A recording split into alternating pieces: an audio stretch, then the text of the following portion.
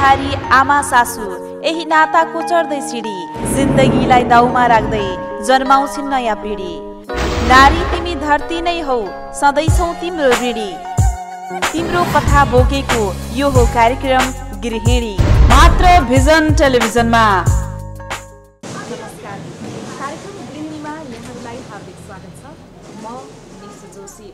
कार्यक्रम गृहिणीमा हामी विभिन्न क्षेत्रमा रहेर काम गरिरहनुभएका महिला र गृहिणी दिदीबहिनीहरूसँग कुराकानी गर्ने गर्दछौँ। यही क्रममा कुराकानी गर्नको लागि आज हामी नेपालगञ्ज उपमहानगरपालिका वडा नम्बर बाह्र बेलासपुर निवासी श्रीमती गीता थापाको निवासमा आइपुगेका छौँ। आज हामी उहाँका जीवनका अनुभवलाई साटासाट गर्नेछौँ। नेपालगञ्ज उपमहानगरपालिका बाह्र बेलासपुर निवासी श्रीमती गीता थापा समाजसेवी तथा महिला उद्यमी हुनुहुन्छ। उहाँले विगत एक दशकदेखि गाउँका गृहिणी महिलाहरूलाई आत्मनिर्भर बन्नका लागि प्रेरित गरिरहनु भएको छ। घरमै गीता सिलाइ कटाई प्रशिक्षण केन्द्र सञ्चालन गरेर गाउँका गृहिणी महिलाहरूलाई केन्द्रमा आबद्ध बनाउनु भएको छ। घरको काम सकेर बचेको समय फुर्सदको उपयोग गरेर करिब दुई दर्जन महिलाहरूले उहाँको केन्द्रमा सिप सिकेर आय आर्जन पनि गरिरहेका छन्। केही महिलाहरू घरमै बसेर महिला तथा बालबालिकाका लत्ता कपडा पनि सिलाउँछन्। घरको कामसँगै आमदानी गर्न सकिने भएपछि गृहिणी महिलाहरूको पनि यसप्रति आकर्षण बढ्दै गएको गीता बताउनुहुन्छ। त्यो चाहिँ आकर्षण चाहिँ मैले एकदम पाएँ। किनभने दिदीबहिनीहरूले एउटा घरमा सिरियल हेर्ने बस्ने साँझ बिहान खाना पकाउने त्यो मात्रै हुँदाखेरि त एउटा बाहिरको संसार बाहिरका दिदीबहिनीसँग समाजसँग अँ, कहिले पनि एउटा सम्पर्कै नहुने जस्तो हुन्छ। त्यही भएर होइन हामीले त्यो भित्रको काम गर्दा गर्दै सँगसँगै आफ्नो यो सिप पनि गर्नुपर्छ। अनि त्यो सिप गरे बापत आफ्नो एउटा सिप क्षमताले कमाएको दुई पैसा हुन्छ त्यो चाहिँ हामी दिदीबहिनीले कसैसँग माग्नु नै पर्दैन। जस्तो एउटा गृहिणीले दिनभरि आफ्नो बिहान साँझ घरको काम सकेर महिनामा आठ दस हजार रुपियाँ इन्कम हुने गरी उनीहरूले पार्ट टाइम मात्र घरमा बसेर पनि एक दुई घन्टा काम साँझ बिहान गरेर गर्न सक्ने काम रहेछ यो। यो गर्नुपर्छ भन्ने भएर अहिले पनि मसँग त बिस पच्चिसजना दिदीबहिनीहरू हुनुहुन्छ। अहिले नि हेर्नुभयो त्यहाँ काटिरहनु भएको छ कपाल बिस पच्चिसजनालाई सिकाइरहनु भएको छ। सिकाउने त अहिले त अब बिस पच्चिसजनाभन्दा बढी पनि हुन्छन् कम्पनी हुन्छन् होइन? अब त्यो भइ नै रहेछ एउटा इन्स्टिच्युट हो स्टुडेन्टहरू आइरहेको छन् र सिकिसकेर पर्फेक्ट भएर काम गर्नुपर्छ है हामी भनेर गरिरहेको गृहिणीहरू धेरै हुनुहुन्छ मसँग।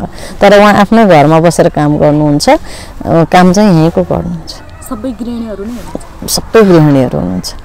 महिला समूहमा आबद्ध भएर बेलासपुरका थुप्रै गृहिणी महिलाहरूले यो प्रशिक्षण केन्द्रबाट सिप सिकेर आय आर्जनको बाटो पहिले आएका छन्। श्रीमती गीता योसँगै विभिन्न समूह तथा संघ संस्थामा पनि आबद्ध हुनुहुन्छ। सामाजिक सेवा गर्ने सपना भएकाले उहाँले यो पेसा रोज्नु भएको हो। सात सय रुपियाँमा कोठाभित्रबाट सुरु गर्नुभएको व्यवसाय अहिले सात लाखको कारोबारमा पुगेको छ। मैले सात सय रुपियाँको कपडा ल्याएर सुरु गरेको। एउटा मेसिन मात्रै थियो।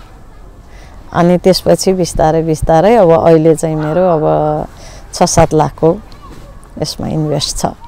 महिला उद्यमीको परिचय बनाइसक्नु भएकी श्रीमती गीता थापाको जन्म दुई हजार तेत्तिस सालमा नुवाकोटको पञ्चकन्या गाउँपालिका वडा नम्बर एक निवासी बुवा हिमबहादुर थापा आमा लीला देवी थापाको कोखबाट छैटौं सन्तानका रूपमा भएको हो।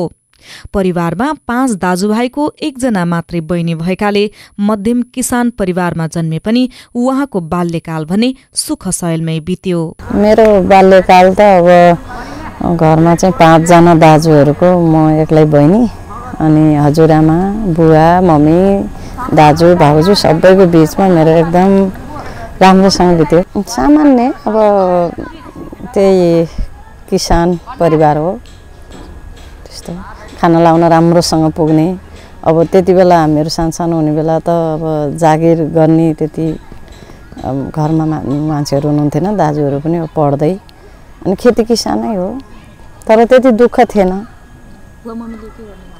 बुवा मम्मीले खेती किसानै गर्नुहुन्थ्यो घर परिवारको सोच शिक्षित थियो बुवा आमाले औपचारिक शिक्षा लिन नपाए पनि छोरीलाई उच्च शिक्षा अध्ययन गराउने इच्छा राख्नु भएको थियो शिक्षा हासिल गर्नका लागि परिवारले उचित वातावरणको सिर्जना गरिदियो त्यसकारण गीताले उच्च शिक्षा हासिल गर्न सफल हुनुभयो अब मेरो एउटै हजुरबुवाको हामी बिस दिदीबहिनी चौबिस दाजुभाइ।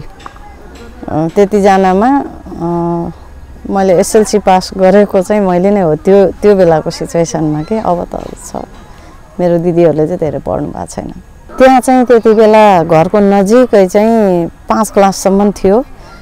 त्यो स्कुल पनि मेरो बुवाले चाहिँ मेरो ठुलो दाजु जन्मिसकेपछि उन्नाइस सालमा चाहिँ अब बच्चा पढाउनु पर्छ भनेर आफै त्यो श्रमदान गरेर स्कुल बनाउनु भएको रहेछ कि?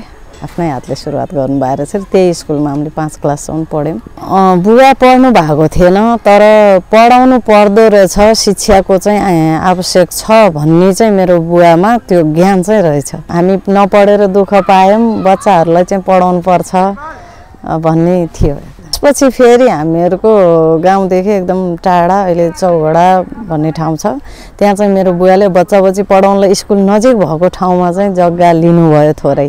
त्यहाँ जग्गा लिएर फेरि आफै घर बनाएर अनि त्यहाँबाट पनि हामीलाई दुई तिन मिनट चार मिनटमा स्कुल पुग्ने ठाउँमै बनाइदिनु भयो त्यो चाहिँ अहिले प्लस टू छ त्यहाँ कलेज भइसकेको छ।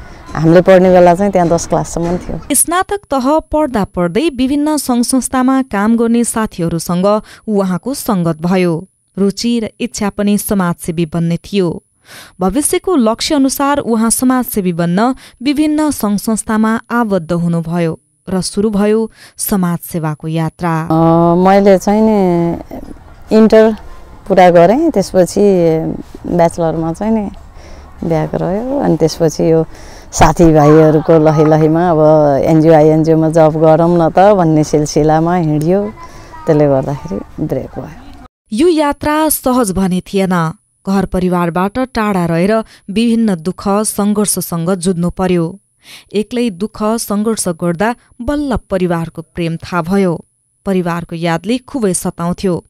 विशेष गरी आजभोलि पनि बाल्यकालमा परिवारसँग बिताएका ती क्षणहरूको याद उहाँलाई आइरहन्छ। जतिबेला बुढी हजुरआमालाई नाना थरी दुःख दिएर परालको टौवामा लुक्नुहुन्थ्यो।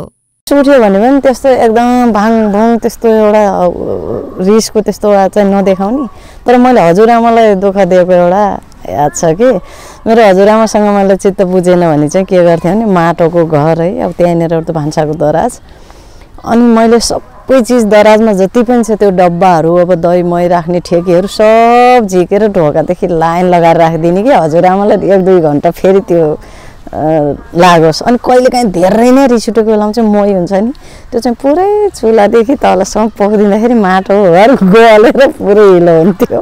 अनि म लुक्थेँ गएर परालको टाउका मुनि त्यो चाहिँ गरेको छु। हरेक भूमिका निभाउनु पर्ने जीवन। कसैको छोरी बनिसकेपछि बुहारी बन्ने समय हुँदै थियो। घरमा आफन्तहरूबाट विवाह प्रस्ताव पनि आउन थालिसकेका थिए। त्यति बेला प्लान इन्टरनेसनल हेलवेटान्स लगायतका विभिन्न सङ्घ संस्थामा काम गरेर आफ्नो खुट्टामा उभिन खोजिरहेको देखेर परिवारले पनि उहाँलाई खासै विवाहका लागि दबाब भने दिएन। मैले एसएलसी पास गरिसकेपछि चाहिँ कलेज पढ्ने बेलामा एक दुईजना त्यस्तै अब आउनुहुन्थ्यो। अनि मेरो बुवा मम्मीले चाहिँ नि अब उसलाई पढ्ने इच्छा हुन्छ के हुन्छ एउटा मात्रै छोरी होइन हामीले यस्तो दिनै पर्छ ल बिहा गर्नै पर्छ भनेर हामी प्रेस गर्दैनौँ। छोरीको जहिले नै इच्छा हुन्छ तब मात्रै बिहा गर्ने भनेर त्यस्तो भन्नुहुन्थ्यो। परिवारको राम्रो साथ पाएपछि विभिन्न चुनौतीहरूको सामना गर्दै अघि बढ्न उहाँलाई खासै गाह्रो भने भएन। विभिन्न समुदायमा गएर काम गर्नुपर्ने। कामको सिलसिलामा विभिन्न जिल्ला पनि पुग्नुभयो। छोरीलाई घरबाट एक्लै बाहिर जानु दिनु हुँदैन भन्ने समाजको मान्यता चेर्दै परिवारले नै साथ दिएपछि काम गर्न झनै सहज भएको उहाँ बताउनुहुन्छ। विभिन्न सङ्घ संस्थामा काम गर्ने सिलसिलामा उहाँ नेपालगञ्ज आइपुग्नुभयो। कामको सिलसिलामा मेरो दाजुभाउजूहरू पनि हुनुहुन्थ्यो। मैले त्यो जस्तो प्लान इन्टरनेसनल छ नि त्यसमा पनि जब गर्थेँ। अनि यस्तै अब एनजिओ आइएनजिओहरूमा चाहिँ मैले दुई चारवटामै जब गरेँ कि। हेलबेटासको प्रोग्रामहरू हुन्थ्यो। त्यसमा जब गर्ने सिलसिलामै अनि प्लान इन्टरनेसनलको यो ट्रेनिङ जुन थियो एउटा त्यो ट्रेनिङकै बेलामा न चाहिँ एउटा पिआरए भन्ने ट्रेनिङकै बेलामा हाम्रो भेट भयो। नेपालगञ्ज आइपुगेपछि विशेष गरी राप्तीपारीको क्षेत्रमा पुगेर काम गर्नुपर्ने थियो। कार्यक्षेत्र राप्तीपारीका विभिन्न दुर्गम ठाउँहरू भएकाले सुरु सुरुमा नचिनेको ठाउँ काम गर्न गाह्रो भयो। त्यही गाह्रो र अप्ठ्यारोमा काम गर्ने सिलसिलामा भेट भयो सुर्खेतका डिल्लुराम घिमिरेसँग। उहाँहरू सहकर्मी हुनुभयो। दुवैजना एउटै संस्थामा काम गर्ने। दुवैजना समाजसेवी। रुचि दुवैको समाजसेवा नै भएकाले एकअर्कालाई साथ दिएर काम गर्न सहज भयो।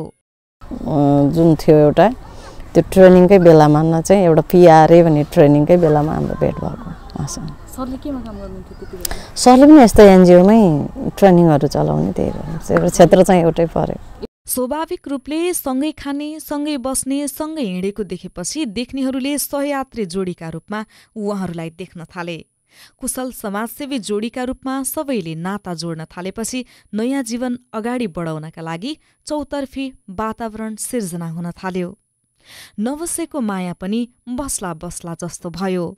गाउँ घर छिमेक चौतर्फी सहयात्रीका रूपमा हेरिन थालेपछि जीवनसाथी बन्नका लागि दुवैले एक अर्कालाई सोध्नुभयो।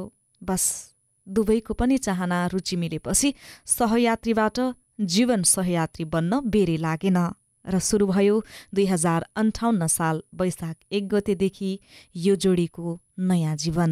अब प्रस्ताव भनेर त यस्तो खासै हाम्रो दुइटैले प्रस्तावहरू केही पनि थिएन। हामी सँगसँगै यसरी अब काम गर्दै जाने सिलसिलामा पहिला बिहेका कुनै पनि हामीले इमेजिन पनि गरेको थिएनौँ।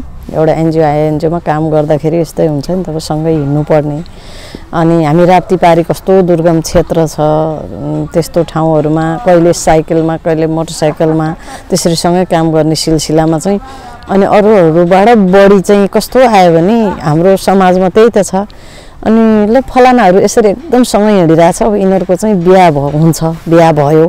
अनि उहाँलाई पनि तपाईँले चाहिँ गीतासँग बिहा गर्नुभयो भन्ने सोध्ने। अनि तपाईँलाई डिलुजीसँग बिहा भयो अरे नि हो भन्ने। अब त्यस्तो खालको चाहिँ माहौल एउटा बन्यो कि? हाम्रो त्यो बिहा गर्ने भन्ने मनस्थिति केही पनि नहुँदा नै हामीलाई सबैले त्यो खालको एउटा नजरले हेरे। त्यसपछि अब सबैले यसै गरी नै हेर्न लागे। अनि अलिकति अब घर परिवारहरूबाट पनि होइन होइन यिनीहरूको चाहिँ बिहा नै भयो। अब सँगै छन् बिहा गर्छन् बिहा नै भइसक्यो। यिनीहरूको भनिदिने सबले त्यस्तो खालको भएपछि सबैले यसै भन्छन् के गर्ने त गर्ने त बिहा गर्ने त भन्ने जस्तो हाम्रो चाहिँ लास्टमा डिसिजन गऱ्यौँ दुइटैले। अनि सरले पनि गर्नुभयो होइन। सरको बानी भनेको चाहिँ एउटा एकदम सिम्पल के जस्तो सुकै ठाउँमा गएर पनि एडजस्ट हुन सक्ने र त्यो जस्तो खालको मान्छे छ नि आफू पनि त्यस्तै खालको बन्नु सक्ने त्यस्तो खालको एउटा जुन बानी थियो। अनि खास चाहिँ भने मैले नि यो सोसियल सेक्टरमा नै भिजेको हुनाले उहाँ पनि सोसियल सेक्टरमा नै लागेको। अनि एउटा चाहिँ त्यसो हो भने मन पनि मिल्दो खालको हुन्छ नि त यही क्षेत्रमा भेट भयो। त्यो खालको उहाँको त्यो के एकदम समाजमा जस्तो घर परिवार जस्तो ठाउँमा गएर भिज्नु सक्ने एउटा शक्ति छ उहाँको। विवाहपछि काममा केही सहजता त थपियो। तर आफूले गर्नुपर्ने कर्म उही भएकाले सङ्घर्ष भने रोकिएन। जीवनमा के मात्र भोग्नु भएन गीताले अपरझट पर्ने समस्यासँग पनि सामना गर्नु पर्यो। राप्तीपारी कामको सिलसिलामा आफूले भोग्नु परेको सङ्घर्ष उहाँ सम्झनुहुन्छ। त्यो स्वाभाविकै हो होइन? हामी एउटा अब सामान्य अब डेरामा बस्ने एउटा आफ्नो जिम्मेवारी मात्रै थियो भनेपछि ल अब हाम्रो बिहा भयो भनेर हामी चाहिँ एउटा बिहा भएर वैवाहिक जीवन बस्न थालिसकेपछि त अटोमेटिकै अब जिम्मेवारी थपिँदै जान गयो। त्यसपछि हामीले होइन अब चाहिँ अलिकति आफ्नो स्वामित्व भएको प्रोपर्टी केही जोडेर नि बस्नुपर्ने हुन्छ भन्ने सवालमा चाहिँ हामीले धेरै सङ्घर्ष गऱ्यौँ। घर त अब सुर्खेतमा नि हो नि। त्यही भएर आमा बुवाहरू नि उतै बसिराख्ने। हामी एउटा डेरा जस्तै गरेर बसेर डेरैमा सेटल भयौँ के? त्यसले गर्दा हामी दुवैजना बसिराख्यौँ।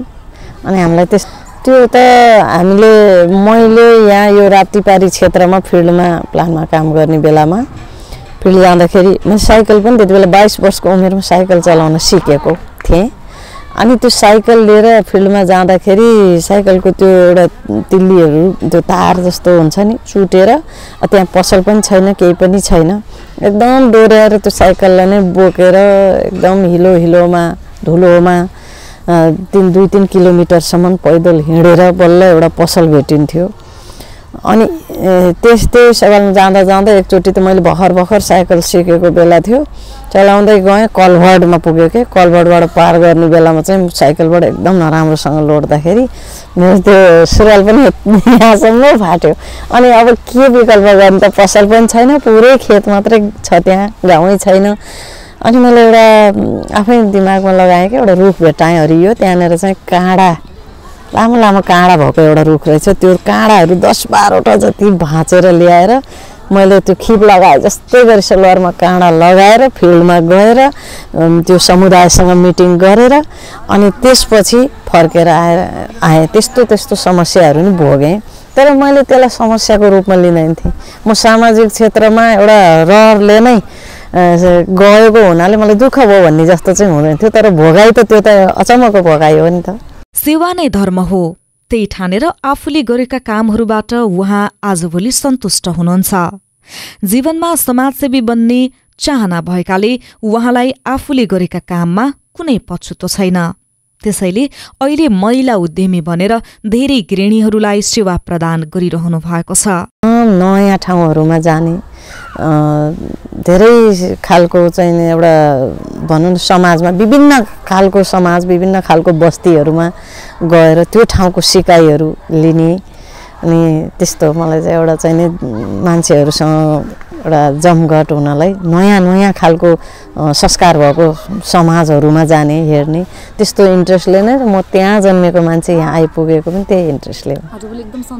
म सन्तुष्ट छु। म म असन्तुष्ट भन्ने मलाई खासै त्यस्तो के पनि म बच्चैबाट त्यस्तै थिएँ अरे कहिलेकाहीँ अब धेरै दाजुभाइ दिदीबहिनी अब खाना अब अरू पर पाहुना सबै भएको बेलामा म चाहिँ सोझो एक ठाउँ बसिराख्ने अरे अनि खाना दिँदै जाँदा मलाई त्यो बिर्सेको रहेछ भने नि ए मैले त पाएको छैन नभन्ने अरे के? बच्चाको लक्षण त्यो थियो भनेर भन्नुहुन्थ्यो। यो यस्तो छ भनेर मम्मी बुवाले कुरा गरेको सुन्थेँ र अहिले नि मलाई यो भएन त्यो भएन के पनि। चाहिँ त्यही हो अब एनजिओ एनजिओमा काम गर्दा गर्दै चाहिँ पछि अब बच्चा भयो। बच्चा भइसकेपछि दुई तिन वर्ष अब बच्चालाई हुर्काउनु पर्यो। अनि जब बच्चा स्कुल जान सक्ने भयो अनि अब त केही काम गरिरहेको मान्छे त्यसै बस्न सकिँदो रहेछ।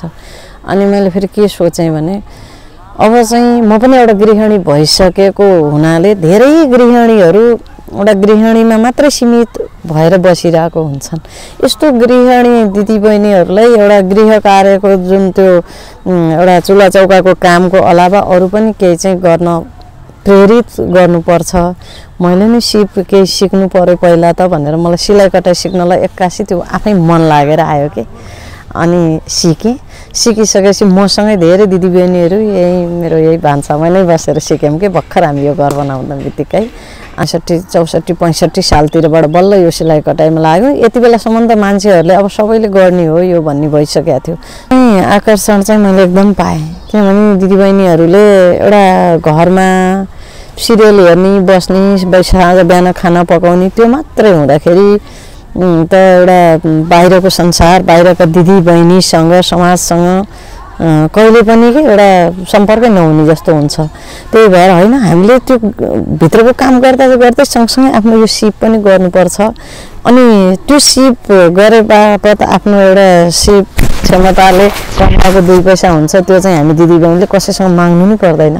जस्तो एउटा गृहिणीले दिनभरि आफ्नो बिहान साँझ घरको काम सकेर महिनामा आठ दस हजार रुपियाँ इन्कम हुने गरी उनीहरूले पार्ट टाइम मात्रै घरमा बसेर पनि एक दुई घन्टा काम साँझ बिहान गरेर गर्न सक्ने काम रहेछ यो।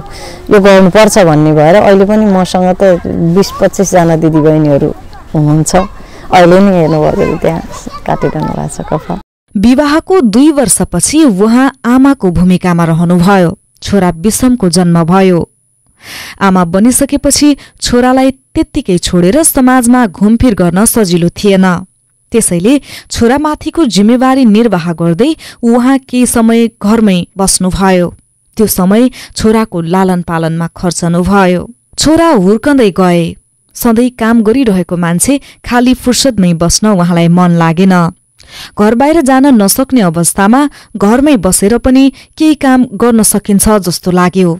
समाजका गृहिणी दिदीबहिनीहरूका लागि पनि काम गर्छु भन्ने सोच पलायो। पहिले सिकेको सिलाइ कटाई सिपको प्रयोग गर्न मन लाग्यो र खोल्नुभयो घरमै गीता सिलाइ कटाई प्रशिक्षण केन्द्र। यो चाहिँ त्यही अब एनजिओ एनजिओमा काम गर्दा गर्दै चाहिँ पछि अब बच्चा भयो। बच्चा भइसकेपछि एक दुई तिन वर्ष अब बच्चालाई हुर्काउनु पर्यो। अनि जब बच्चा स्कुल जान सक्ने भयो अनि अब त केही काम गरिरहेको मान्छे त्यसै बस्न सकिँदो रहेछ। अनि मैले फेरि के सोचेँ भने अब चाहिँ म पनि एउटा गृहिणी भइसकेको हुनाले धेरै गृहिणीहरू एउटा गृहिणीमा मात्रै सीमित भएर बसिरहेको हुन्छन्। यस्तो गृहिणी दिदीबहिनीहरूलाई एउटा गृह कार्यको जुन त्यो एउटा चुल्हा चौकाको कामको अलावा अरू पनि केही चाहिँ गर्न प्रेरित गर्नुपर्छ।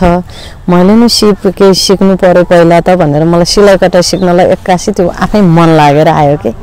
अनि सिकेँ। सिकिसकेपछि मसँगै धेरै दिदीबहिनीहरू यही मेरो यही भान्सामा नै बसेर सिक्यौँ कि भर्खर हामी यो घर बनाउँदा बित्तिकै। अनि त्यसपछि सिकेर फेरि के गर्ने त? एउटा सर्टिफिकेट लिएर मात्रै बसेर त भएन।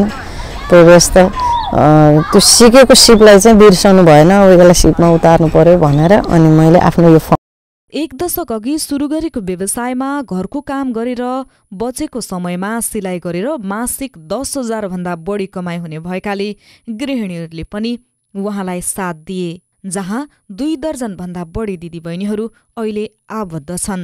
यो चाहिँ आकर्षण चाहिँ मैले एकदम पाएँ किनभने दिदीबहिनीहरूले एउटा घरमा सिरियल हेर्ने बस्ने बै- साँझ बिहान खाना पकाउने त्यो मात्रै हुँदाखेरि त एउटा बाहिरको संसार बाहिरका दिदीबहिनीसँग समाजसँग अँ, कहिले पनि एउटा सम्पर्कै नहुने जस्तो हुन्छ। त्यही भएर होइन हामीले त्यो भित्रको काम गर्दा गर्दै सँगसँगै आफ्नो यो सिप पनि गर्नुपर्छ। अनि त्यो सिप गरे बापत आफ्नो एउटा सिप क्षमताले कमाएको दुई पैसा हुन्छ त्यो चाहिँ हामी दिदीबहिनीले कसैसँग माग्नु नै पर्दैन।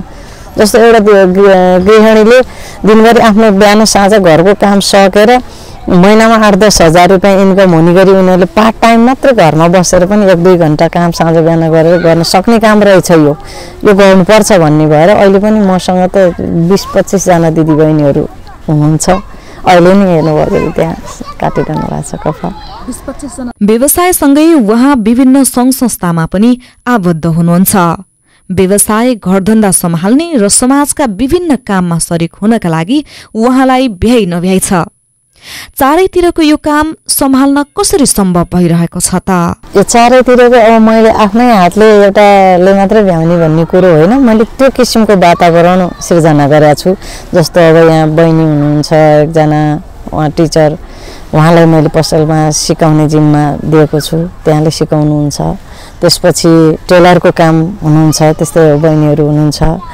अनि अब जस्तो मैले चाहिँ नि यो हस्पिटल साइडमा दोकानहरूमा मेरो कपडाहरू सप्लाई हुन्छ त्यो तयारी गर्ने ग्रुप मेरो छुट्टै छ गृहिणीहरू हुनुहुन्छ। एकजनाले आएर यहाँ कटिङ गर्ने जिम्मा एउटालाई दिएको छु। अनि उहाँले फेरि कटिङ गरेको कुराहरू आफ्नो साथीलाई सप्लाई गर्नुहुन्छ त्यस्तो एउटा नेटवर्क जस्तो के? दिदीबहिनीहरूको सञ्जाल छ। त्यो सञ्जाल भएर नै मैले भ्याएको छु। तर यहाँ सबैको हात छ दिदीबहिनीहरूको। गृहिणी महिलाहरूको सञ्जाल निर्माण गरेरै अहिले उहाँले महिला समूह मार्फत काम गरिरहनु भएको छ। जसले गर्दा घरको काम गरेर बचेको समयमा महिलाहरू आमदानी गर्न थालेका छन्। पहिले एक्लै भएकोमा आज आएर उहाँसँग थुप्रै गृहिणी महिलाहरू पनि आत्मनिर्भर बनेका छन्। यति धेरै काम गर्न सक्नुमा उहाँको परिवारको भूमिका पनि उत्तिकै महत्वपूर्ण छ। उहाँको यस्तो व्यस्त समय तालिका छ। श्रीमानले घरको काममा कतिको सघाउनुहुन्छ त? सपोर्ट त गर्नु भएको छ जस्तो अब भनौँ न अब मैले त्यो पसलमा ग्राहक आउनु भएको हुन्छ दिदीबहिनीहरू आउनु भएको हुनुहुन्छ यतातिर टाइम दिइराख्नु परेको छ। भने उहाँले अरू नसके पनि अब आफूलाई चिया खान मन लाग्यो यस्तो भने उहाँ आफै बनाएर खानुहुन्छ अनि आफ्नो कपडाहरू आफै धुनुहुन्छ। त्यस्तो अब खाना पाकेको हुन्छ भने पस्केर आफै खानुहुन्छ। पकाउन ओर्नु चाहिँ उहाँलाई त्यति ज्ञान छैन। सानैदेखि उहाँलाई अब भनौँ न सिक्नु भएको रहेनछ त्यही भएर। अनि उहाँले सपोर्ट गर्नुहुन्छ।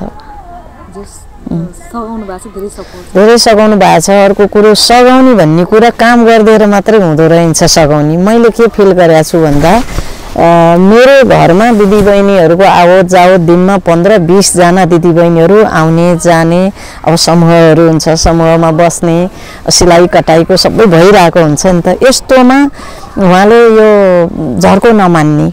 कति आएको छन् के हो यस्तो हुन्छ नि त। यदि उहाँको ठाउँमा अरू कोही त्यस्तो भयो होइन यतिकै यो आउने जाने घरमा एउटा यो भएन है यस्तो त। एउटा घर भनेको शान्त हुनुपर्छ घरको फ्यामिली मात्रै हुनुपर्छ। यो राम्रो भएन भन्ने खालको श्रीमान भइदिएको भए म यो सक्सेस हुँदैन थिएँ। तर उहाँले त्यसमा एकदम मलाई हौसला दिनुहुन्छ। को किन आयो के गर्यो यताउता अनि यतिका धेरैजना के गर्दैछौ कसो गर्दैछौ? अब मेरो त्यो कपडाहरू कोठाभरि पुरा लथाबिङ्ग अब पसलको एउटा सामान त भइगयो मैले कोठैबाट सुरुवात गरेको। उता मेसिन छ उता कपडा फालिया छ यता काटेको कपडा छ त्यो पनि उहाँले केही झर्को मान्नुहुन्न। त्यो चाहिँ उहाँको सपोर्ट मानिरहेको छु कि मैले। किनभने मैले गरेको जे काम छ त्यसमा यो ठिक छ गरिरहेको छ मैले यसमा अवरोध ल्याउनुहुन्न भन्ने उहाँमा त्यो भएको कारणले मैले सपोर्ट पाएको। हो। उहाँले भने जस्तै सघाउने भन्नाले घरको काममा मात्र नभई सोचमा समेत हौसला प्रेरणा दिनु पनि ठूलो र महत्वपूर्ण कार्य हो। आफूले गरेका हरेक काममा प्रेरणा पाउनु नै श्रीमानबाट आएको ठूलो सहयोग भएको उहाँ बताउनुहुन्छ। त्यसैले आज गीतालाई उद्यमी र समाजसेवी गीता बनाएको छ। यसको श्रेय परिवारलाई नै जान्छ। लत्ता कपडाको काम जस्तो सुकै युग आए पनि अन्त्य नहुने भएकाले यसको क्षेत्रमा लगानी गर्दा फाइदा लिन सकिने उहाँ बताउनुहुन्छ।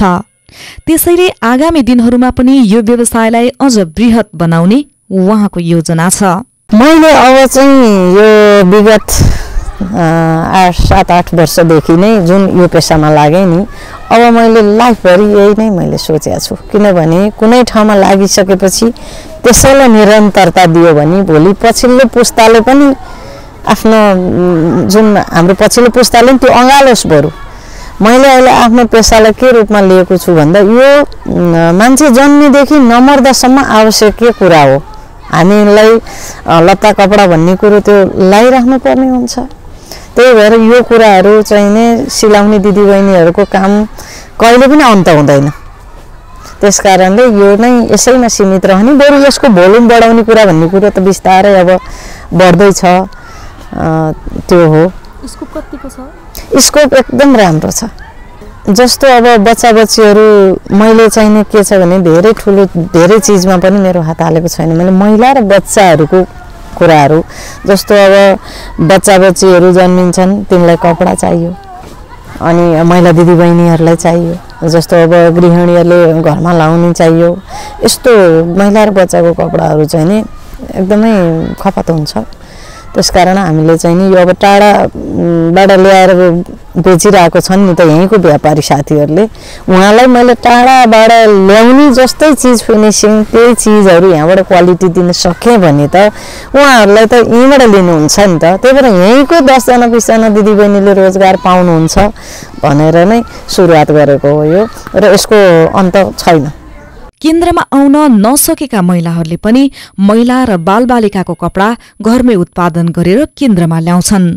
गीताले यो उत्पादित लुगा अनुसार पारिश्रमिक दिनुहुन्छ। उत्पादन लुगाहरू होलसेलमा नेपालगञ्ज बजारमा खपत गर्नुहुन्छ। केही काम छैन भनेर फुर्सदमा बसेका महिलाहरूलाई सिप सिकेर समयको सदुपयोग गर्न उहाँ सुझाव दिनुहुन्छ। म त उहाँहरूलाई काम गर्नको लागि मान्छेलाई एउटा आफूमा जागरुकता हुनु पर्यो इच्छा हुनु पर्यो। केही गर्न सकिनँ भनेर आफूलाई कहिले पनि त्यस्तो सोच्नु हुँदैन केही न केही गर्न नसक्ने त कोही पनि हुँदैन। गर्न सक्नुहुन्छ अवश्य। आजको गृहिणी कार्यक्रममा हामीले नेपालगञ्ज उपमहानगरपालिका वडा नम्बर बाह्र निवासी श्रीमती गीता थापाको निवासमा आएर उहाँले गर्नुभएका कामहरूको बारेमा कुराकानी गऱ्यौँ उहाँले गीता प्रशिक्षण सिलाइ कटाइ केन्द्र सञ्चालन गरेर काम गर्दै आउनु भएको छ। अर्को श्रृङ्खलामा अर्को गृहिणीका साथ पुनः उपस्थित हुने नै छौँ। हेर्दै गर्नुहोला पश्चिम नेपालको गौरव। भिजन टेलिभिजन नमस्कार। छोरी बुहारी आमा सासु यही नाताको चढ्दै सिडी जिन्दगीलाई दाउमा राख्दै जन्माउँछिन् नयाँ पिँढी। नारी तिमी धरती नै हौ सधैँ छौ तिम्रो ऋणी तिम्रो कथा बोकेको यो हो कार्यक्रम गृहिणी। मात्र भिजन टेलिभिजनमा।